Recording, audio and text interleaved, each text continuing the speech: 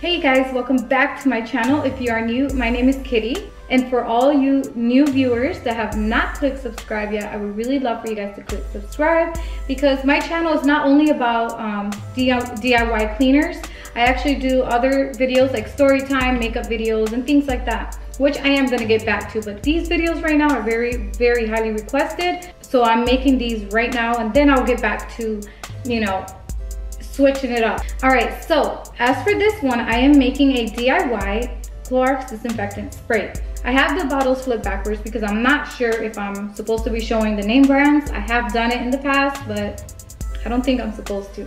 So for this spray, all you need is three ingredients. Technically only two, but this one is a optional and it's actually, it helps like with the scent and everything. So again, it's optional. And here I have already a little bit left. I made a batch with just water and Clorox and I have just a little bit left in there, but I'm gonna go ahead and make a new batch anyways. Um, but in this, I'm gonna include this one. So all you need is um, a quarter cup of Clorox bleach or any bleach. Just make sure it doesn't say splashes because that one is not a disinfectant. I just learned that not too long ago.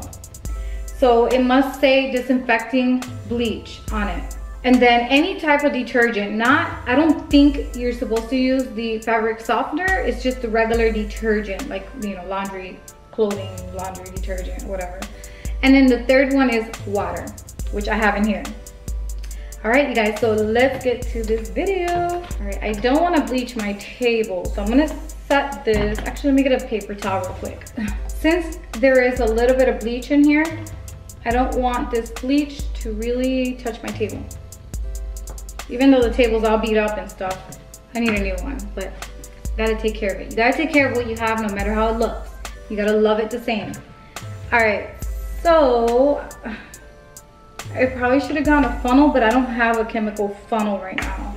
And I don't like, like these uh, measuring cups are for chemical only. That's why I wrote on them.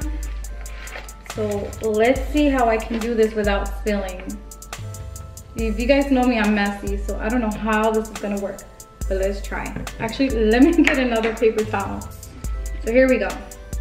So just a quarter cup of bleach. Ooh, please don't spill. Oh my gosh, you guys, I don't know how I'm gonna do this. You're supposed to get a funnel.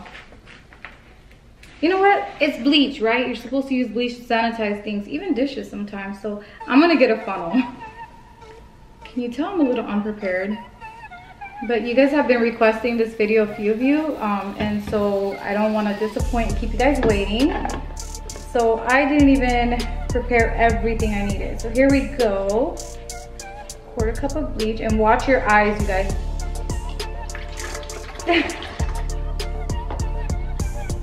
okay, so we got that in there. And as usual, Rain's out there screaming his head off every time I'm making a video. Nothing new just Rain being a jerk. All right, so now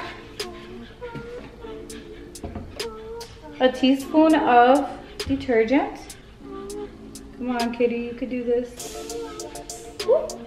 Perfect. I don't think I'm gonna use a funnel for this. Can you see my proud face? I did it, I didn't spill it. You guys know I'm a mess. Last but not least, water. So let's see how much water I'm use. This is a 32 ounce um, spray bottle. I would fill it up to almost the top. So about right there. So just around here. I just fill it up with water and that's it you guys. You have your own Clorox dis disinfectant spray. So you just mix it around. So wasn't that easy? Now I do have some tips. Um, if you're using this to clean your bathroom, like let's say the toilets and even the doorknobs and entrances and everything, like, you know, your door entry. To disinfect anything, just make sure wherever you're spraying, it is not something that has a carpet, like obviously, like, let's say you're spraying the toilet, if you normally have a carpet right there, I would move it because you're going to bleach the carpets. If there's any clothes nearby, make sure your clothes are not like going out clothing. Make sure you change into something that you don't mind if it sprays back because it is bleach. You know, you're disinfecting with this stuff. So make sure you're careful with anything you spray. If you're spraying like on stainless steel, I wouldn't leave it on too long because uh, it can mess with the color. I've done that in my shower. Now it does go back to normal, but I don't want to be the one to give you uh, the okay to do it just because I did it and mine went back to normal. Um, do your research. Make sure it is safe for wherever you're using it on. Now for kitchen counters and like I said, toilets, bathroom sinks, you know, your showers. This is also great for mold. Now, me personally, I don't like to do the one-fourth cup when it comes for, to mold, like shower mold and stuff. Um, I like to do half and half. It is Clorox bleach. I repeat, I know I've said that a bunch of times, but I want to be clear about that. So it is strong, it has fumes. I like to wear a face mask.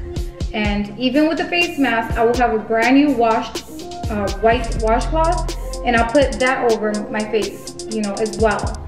And I hold it tight and I try to spray as quick as possible and watch your step, make sure there's no carpet I cannot say that enough. Don't bleach your carpets. It's not my fault if you guys do it and didn't move your carpets. Um, but yeah, so right now, this is very important to have with everything going on.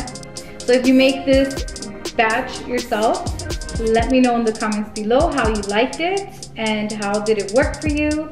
And that is it for this video. I hope it was helpful to somebody. And if you guys have any more requests, like you have been doing, go ahead and leave it in the comments. I know you guys have came across a lot of some older videos of mine, which is great. And uh, if you want those videos in an updated version, go ahead and let me know. So that is it. I appreciate each and every one of you, and I will see you guys on the next one. Love you guys.